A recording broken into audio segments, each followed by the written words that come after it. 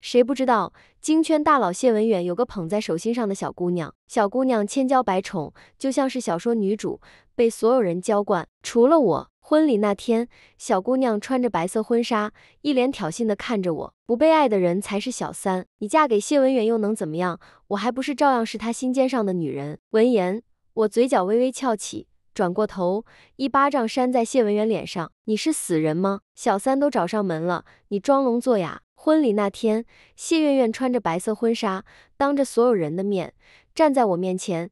一脸挑衅地看着我，不被爱的人才是小三。你嫁给谢文远又能怎么样？我还不是照样是他心尖上的女人。彼时婚礼还未开始，但是后台却站满了人，其中不乏不少在京城有头有脸的豪门子弟。大家面面相觑，却没一个人敢上前劝阻。无他，谁不知道？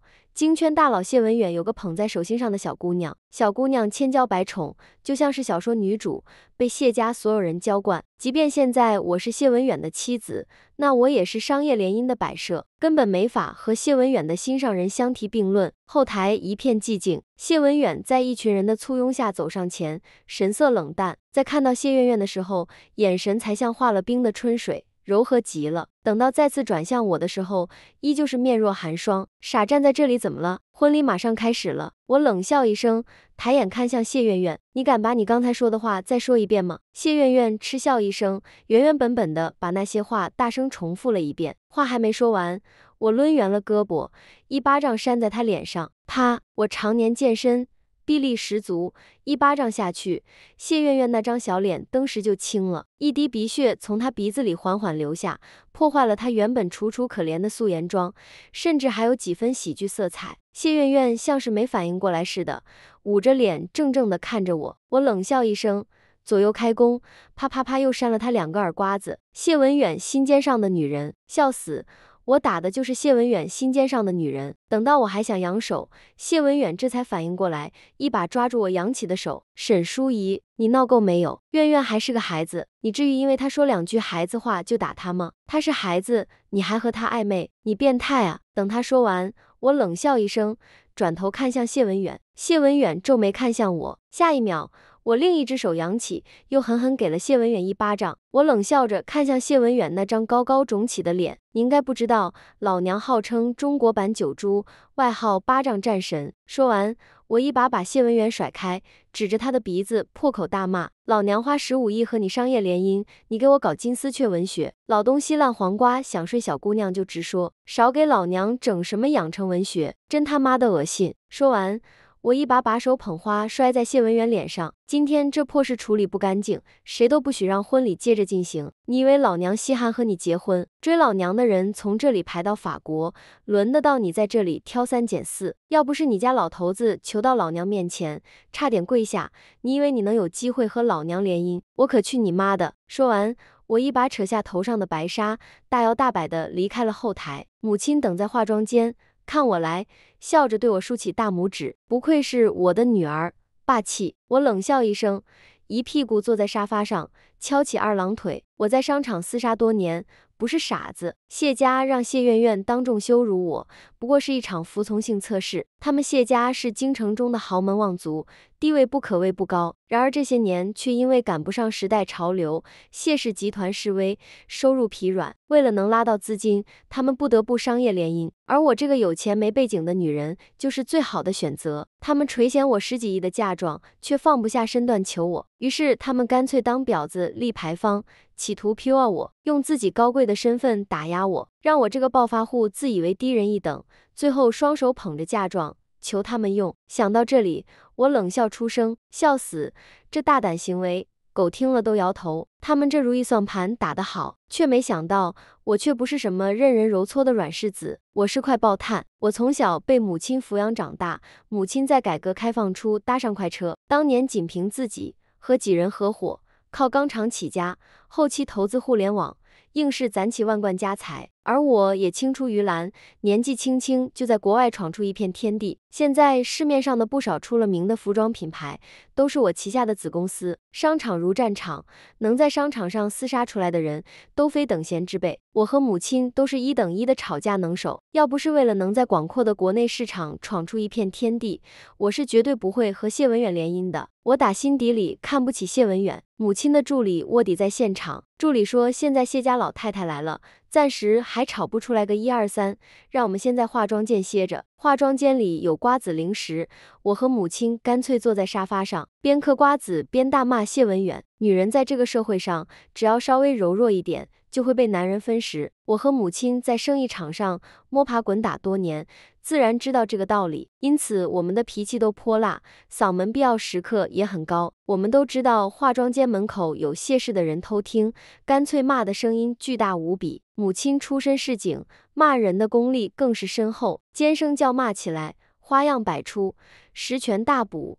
把谢家祖宗都从祖坟里翻出来骂了个遍，我在一旁煽风点火，一直骂了半个小时，才听到门外人忍无可忍，摔东西走。母亲悠闲地喝了口茶，阴阳怪气，没想到这就受不了了。早知道受不了，就别把那小贱人往婚礼上带啊，这不纯纯找骂吗？我笑着转了转手上的戒指，人家就是贱。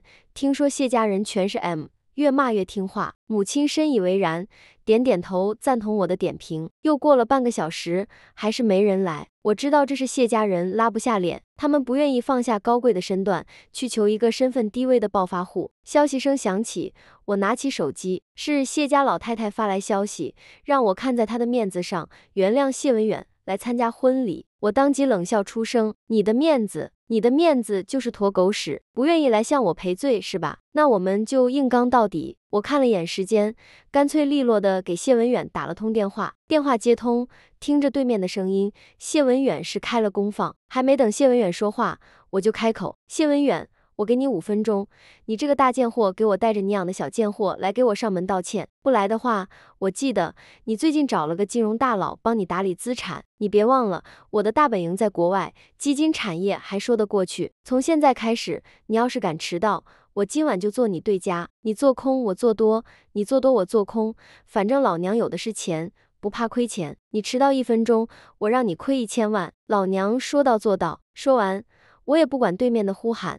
径直挂断了电话。三分钟后，化妆间外传来匆忙的脚步声，门被猛地打开，是谢文远和谢媛媛。我敲着二郎腿坐在沙发上，看着谢文远不情不愿地走上前。等到他低下头服软，我这才看向谢媛媛。小姑娘脸上青青红红，像是开了染房。我露出一个假笑：“媛媛，我知道你只是个孩子，嘴上没把门的，我也能理解。没关系，以后我进了谢家门，慢慢教你。”说完。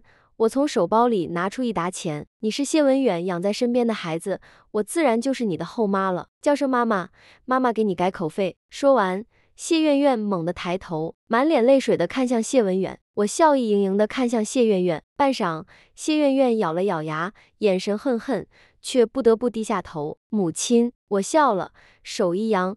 一沓钱被甩在他脸上，好孩子，妈妈最喜欢的就是自尊自爱的女孩，以后多和妈妈学学，别满脑子都是男人，那是性缘脑，简称神经病，得治。说完，我优雅起身，拍拍身上并不存在的灰尘，笑着转向谢文远，愣着干嘛？文远，咱们走。婚礼圆满结束，而我沈淑仪也在京城上层阶级一炮而红。婚礼现场，长官养女和老公还是豪门，这是何等战绩！大家都说我是个牛人。婆家原本想当着所有人的面给我下马威，谁知道却被我反杀，扔出去的臭狗屎硬是被我塞回谢家自己人嘴里。外界说什么我不在意，我只知道我成了谢家的大少奶奶。新婚当晚，谢文远来到卧房。脸色黑如锅底，沈淑仪，我告诉你，你现在是得到了我的身体，但你永远别想得到我的心。我冷笑一声，一脚把他蹬下床。谁稀罕你这白皮猪一样的身材？多看一眼我这种晕猪肉的都觉得恶心，滚！等第二天，我神清气爽的起床，干的第一件事就是把豪宅的佣人们叫到一起，管家站在中间，垂手是立。我上下打量他一番，默然笑了。你如今的工资是谁发的？管家恭敬道：“是少奶奶您。”我点点头，看来还挺上道的。等他说完，我端起茶碗，拨了拨上面的茶沫。既然知道是谁给你们饭吃，那就别吃里扒外，小心到时候老娘炒了你们，看那些个老东西还会不会要你们。说完，我抬眼看去，几个小佣人瑟缩了下，把头低得更低了。等到佣人散尽，我抬头，谢文远站在二楼。皱着眉看向我，我把茶碗放在桌上，慢条斯理道：“有话下来说，我讨厌仰视别人。”听我这么说，谢文远走下台阶。脸上挂着两个黑眼圈，大少爷没睡过地板，没事儿，以后经常睡就熟悉了。谢文远声音冷硬：“沈淑仪，你何必赶尽杀绝？”我挑眉：“什么叫赶尽杀绝？这叫员工训话。他们听我的话，尽到员工责任，我当然不会吝啬，赏罚分明，这是做生意的基本逻辑。你在谢家当掌权人这么长时间，还没学会吗？”看我一脸嘲讽的样子，谢文远深吸一口气。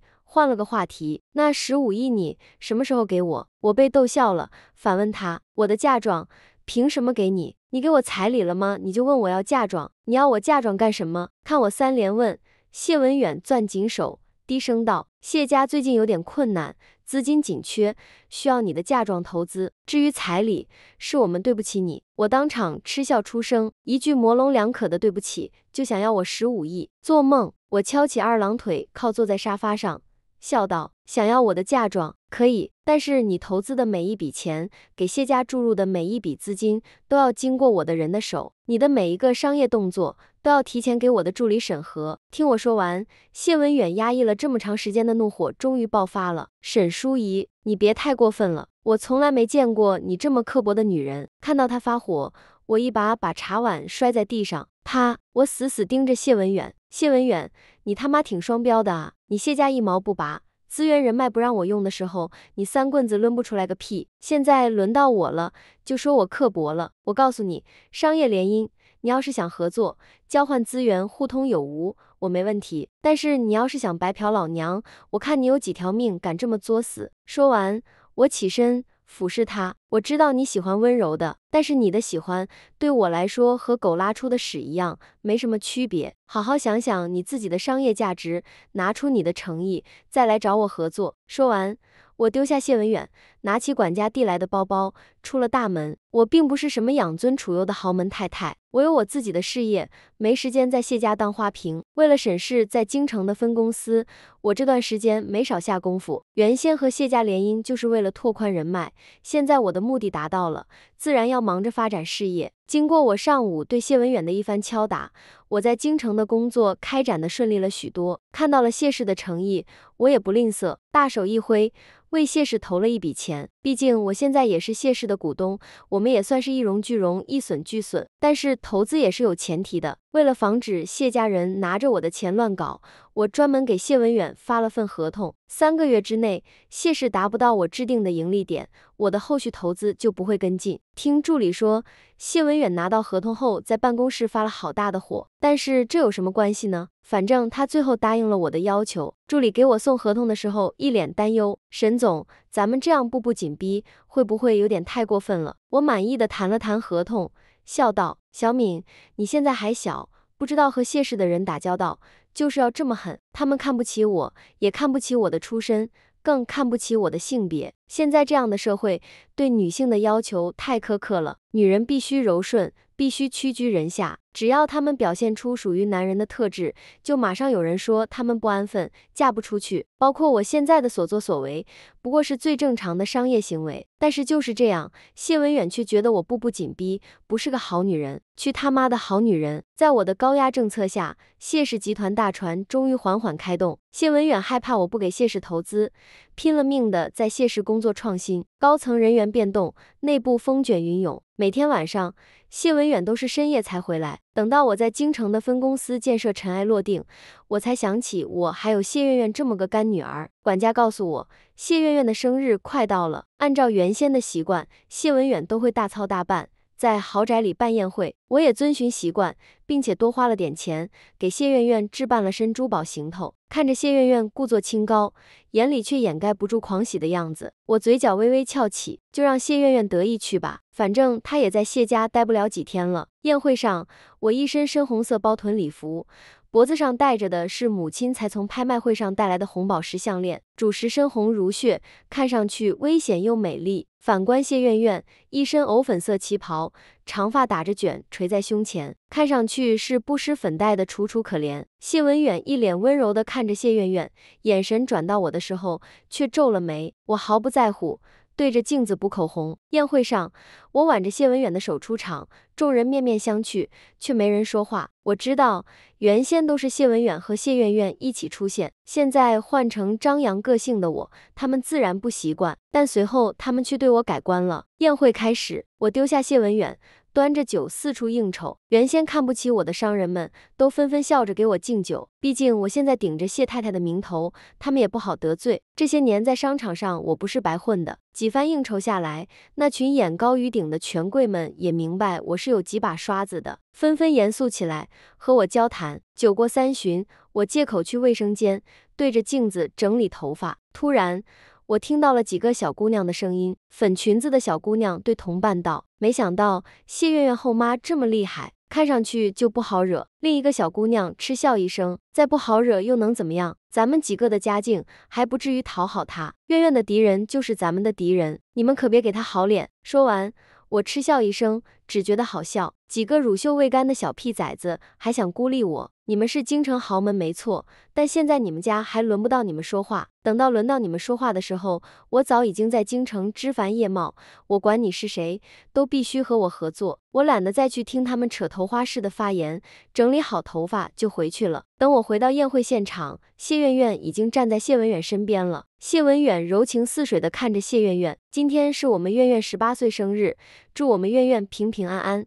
天天开心。说完，他拿起放在软垫上的王冠，戴在谢苑苑的头上。那是谢文远专门从拍卖会上买回来的古董，价值连城。站在人群中的一个女孩忍不住和同伴议论：看来谢家还是很看重谢苑苑的。谢苑苑抬起头看到我，温柔的脸上是满满的挑衅，我却对此视若无睹。谢苑苑扬起一抹无害的笑容：“妈妈，你打算送我什么呢？有谢文远珠玉在前，如果我不送点值钱的，更会被人议论不愧是暴发户，小家子气。而比古董还值钱的，就只有股份了。”但是我嘴角扬起一抹诡异的弧度，笑着拍了拍手。管家端上来个精致的托盘，我一把拽下红布，是一封简单的信件。谢月月不屑地打开，在看到内容后，却惊讶地瞪大眼睛，难以置信地看着我。我和他微笑对视，声音温柔：“妈妈知道你学习好，眼光高。”对学校要求也高，所以妈妈找了沈立元教授为你写了封推荐信，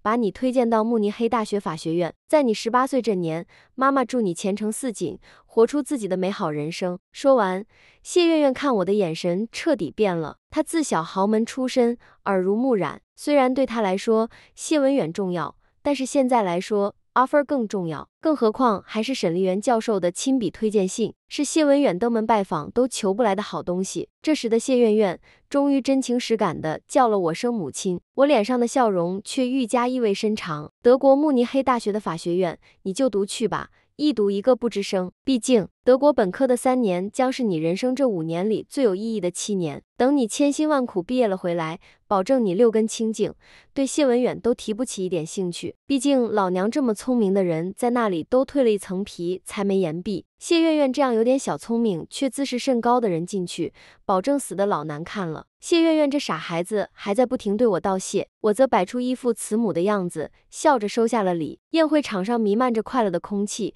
唯独谢文远和谢家人脸色僵硬。我瞥了他们一眼。却不搭腔，我知道他们打的是什么算盘。他们拖着不给谢苑苑找学校，就是想把谢苑苑留在国内。毕竟留着谢苑苑在国内和我作对，吸引我的注意力，让我和他在谢家内宅扯头花。到时候他们在谢氏用我的嫁妆进行商业活动，也不用担心我会注意到了。但是我是什么人，怎么可能耽于儿女情长？一封让人无法拒绝的推荐信，刚好堵住了谢家人的嘴，也解决掉了谢苑苑这个小祸害。谢苑苑拿到推荐信后，就着手开始学习语言了。留给他的时间并不长，而德语却并不像他想象中那样简单。即便他之前有德语基础，深入学习起来还是吃力，更别说还要兼顾其他学科。我干脆给他花大价钱找了好几个高级家教，每天不间断的去谢家豪宅给他上课。谢文远在旁边看着，却挑不出一点错误来。他刚想让谢苑苑出来和我作对，就被我笑着拦住。老公，现在苑苑正处在关键时刻，你既然爱她，就别在这个时候耽误她。我虽然没什么文化，却也知道万般皆下品，唯有读书高。苑苑喜欢这个，不是好事吗？说完。我眉眼弯弯地盯着谢文远看，硬是把谢文远看出几分心虚来。尤其是那句没文化，更是说的他燥得慌。原先他看不起我，连我的资料都懒得了解。直到我在谢苑苑的生日宴上拿出沈丽媛的推荐信，他这才警觉起来。慕尼黑大学法学院毕业，法律金融双学位。硕士期间无意中遇到了某位奢侈品品牌创始人，找到创业方向，干脆利落的退学，创立自己的品牌。年仅二十八岁。坐拥万贯家产，却低调行事，在今年进军国内市场。而他自诩京圈大佬，却不过是靠着家族硬币在国外水了个学位，一回国就开始不务正业养小姑娘。这样的他怎么和我比？知道了我的来历，谢文远的自尊心受到严重暴击。这几天都躲着我走，而我却懒得理他，开始忙自己的事业。周五那天晚上，我约了几家供货商一起在会所吃饭。会所环境不错，曲水流觞搭配技艺高超的琴师，将那江南小调唱得婉转动听。我和供货商你来我往，几番交锋下来，硬是在他们承受范围之内，用最低价拿到了我想要的东西。挺着大肚子的中年男人苦笑道：“沈总，和您打交道真是难啊。”我笑得灿烂，和他捧杯。王总茂赞，彼此彼此。酒过三巡，我借口去卫生间，逃出来准备喘口气。天台上风景不错，我刚准备掏出打火机，就听到了一个熟悉的声音，是谢文远和谢家的老太太。我扭身躲进身旁的窗帘里，听他们说话。老太太一改往日的和善，声音低哑冰冷：“你怎么还是不对沈淑仪动手？不要告诉我，你连个女人都对付不了。”谢文远的声音则烦躁无比：“不是我不愿意动手，是沈淑仪警惕性太高了。她不是软柿子，那十五亿根本没法直接到咱们手上。”老太太冷笑一声：“不过是个拿闷，能有多大的本事？当初你嫂子不也是块硬骨头，最后还不是把嫁妆全吐出来了？”天台上瞬间安静下来。老太太慢条斯理道：“既然不愿意给嫁妆，那好说啊，把她整成植物人，她的钱不就都是咱们的了吗？就像当初对你嫂子那样。不要告诉我，你连这种小事都干不了。”听他这么说，我动作一顿。眼里闪过一抹讽刺，看来谢家也不是什么好人家啊。等到那对母子离开，我刚想出去，就听到一阵脚步声，下一秒，一道温润的声音响起：“沈总，刚才那些话您都听到了吗？”我一把拉开帘子，抬眼看去，一个身材修长的男人站在我面前，带暗纹的白衬衫，灰色毛衣，金属框眼镜的斯文败类，是谢氏集团的职业经理人，也是谢家的私生子。谢景文，这个十五岁前在贫民窟长大，十五岁后进入豪门讨生活的私生子，骨头硬的惊人。在谢家挣扎三年，十八岁去美国留学，学成归来后依旧选择效忠谢氏。我卷了卷发尾，抬头懒懒地看着他。谢总煞费苦心的让我听到这些，有何贵干？谢景文轻笑一声，也不兜圈子。坦白了他的野心，我要整个谢家和我合作，事成之后给你谢氏百分之六的股份，十五亿连本带利，我如数归还。我上下打量他一番，干脆利落的握住了他的手，成交。能这么轻易和谢景文合作，原因很简单，谢景文的身世占了大半原因。昏庸好色的谢家老爷子，强势阴狠的谢家老太太，被强取豪夺的谢景文母亲，再加上私生子谢景文，更何况谢景文这个职业经理人的位置。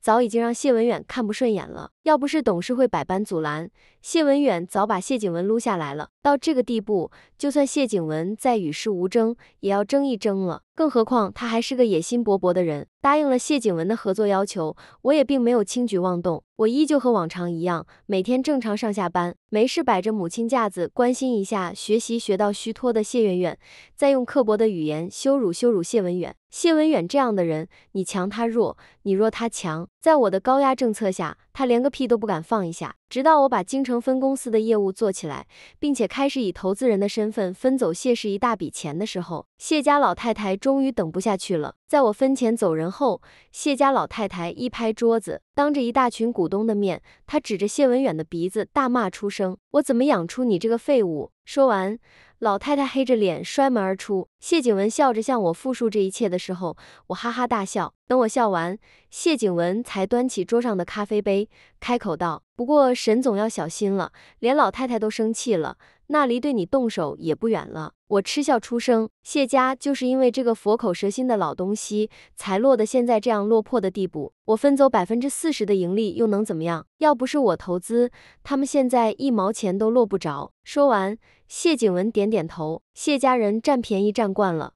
就是这样，你现在小心点。老太太身边有我的人，她对你下手的时候，我会提醒你。等协商完，我们又聊了两句合作事宜，随后各奔东西。想要让一个人合理的离开这个世界，方法很简单：下毒。车祸下毒分两种，慢性毒物或者直接要死。自回国后，我就频繁出现在公众视野，想直接要死太明显了，那就只有慢性毒物了。但以现在的形势，我就像一块疯狂吸水的海绵，每时每刻都在扩张自己的领地。每耽误一天，谢氏在京城的地位就会被我蚕食一分。慢性毒物见效太慢，估计还没等到我出现症状，谢氏早就姓沈了。相比之下，车祸成了性价比最高的。干掉我的方式，谢景文说，谢家那个老妖婆最擅长靠车祸来掩盖罪行了。当初他母亲就是因为老太太策划的一场车祸丢了性命。时至今日，老太太虽然依旧强势，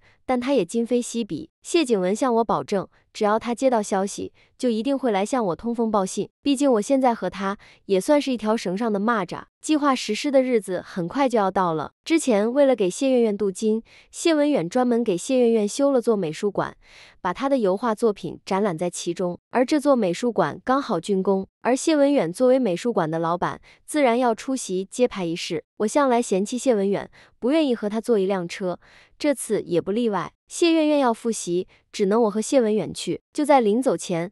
我的秘书给我打了一通紧急电话，说原定的供货商突然坐地起价，让我赶紧去公司谈判，刻不容缓。我接了电话后，马上通知谢文远，让他先走。谢文远虽然对此颇有微词，却碍于我的淫威，不敢说什么，只能先行一步。他常用的那辆车，半小时前才发现车内系统出了点小问题。谢文远以为是母亲给的暗示，很顺从的就换了我常坐的那辆车。在谢文远离开的五分钟后，我随便在车库选了辆车去了公司。供货商出问题是真的，但我不是傻子，早有预谋的事情解决起来轻松极了。等到一个小时之后，我处理完供货商反水的问题，刚出会议室就接到了警察打来的电话。电话里说我的丈夫谢文远遭遇了严重的车祸，脑浆都撞出来了，让我现在赶紧去医院。我马上表示自己会第一时间赶到医院，并请医生全力医治。不论代价。等我到医院的时候，谢家老太太早早守在病房门口，看到我来，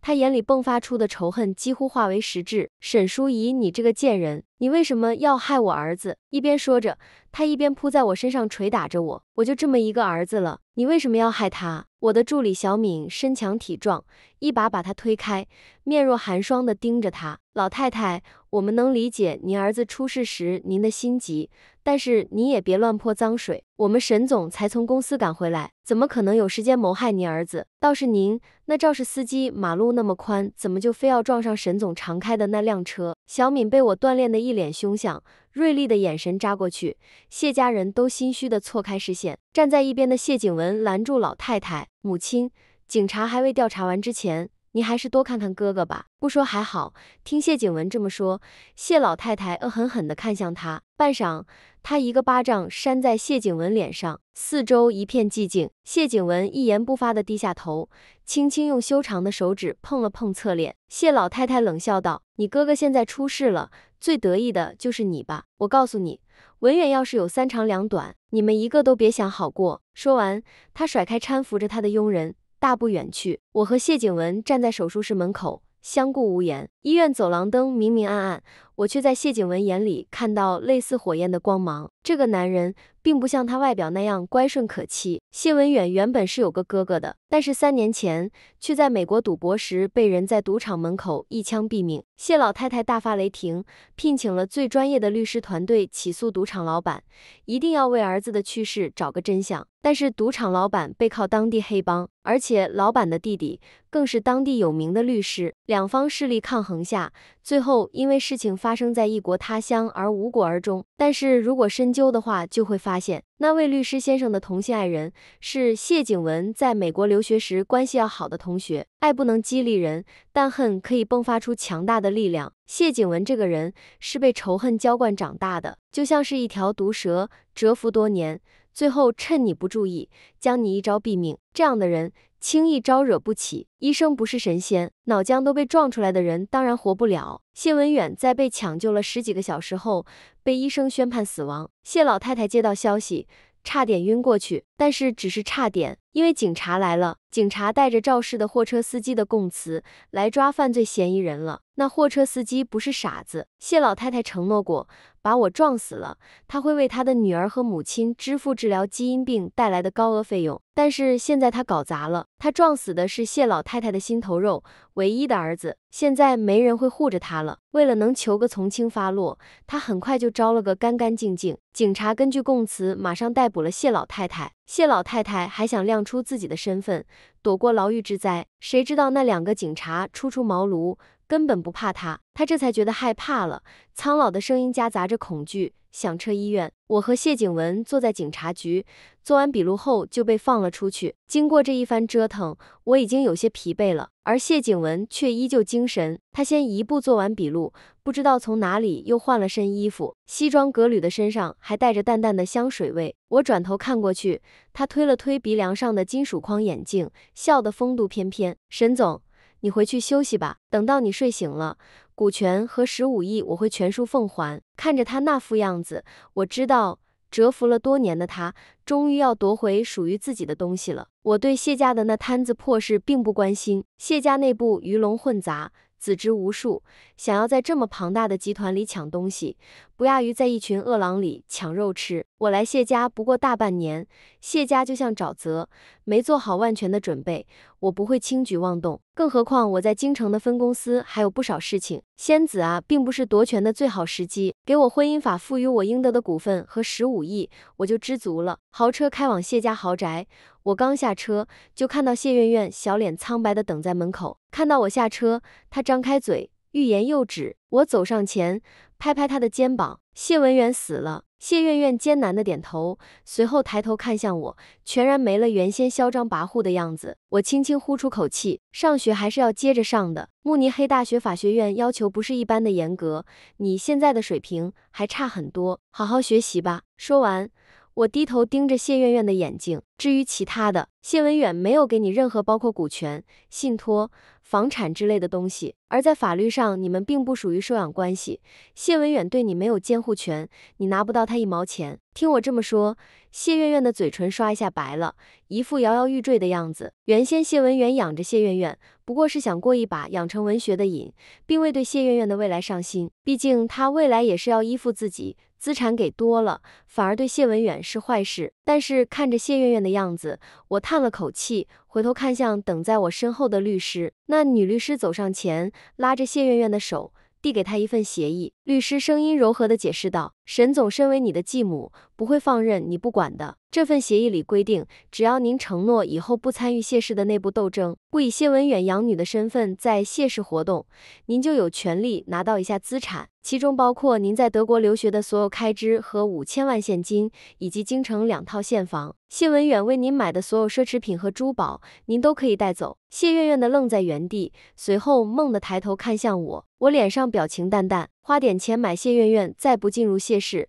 值了。现在谢苑苑不构成威胁，但以后要是有心之人以谢苑苑的名义在谢氏行走，也是麻烦。但是谢苑苑要是有野心，不签协议，我有一万种方法让谢苑苑彻底离开谢氏。半晌，谢苑苑死死拉住我的手，急切道：“我愿意。”我愿意签，把协议给我，我马上签。听到他这句话，我满意的笑了。谢文远给他买的珠宝就不止五千万，再加上我给他的现金和房产，只要他安分分的，足够他在京城吃喝不愁一辈子。开学季，送走谢苑苑。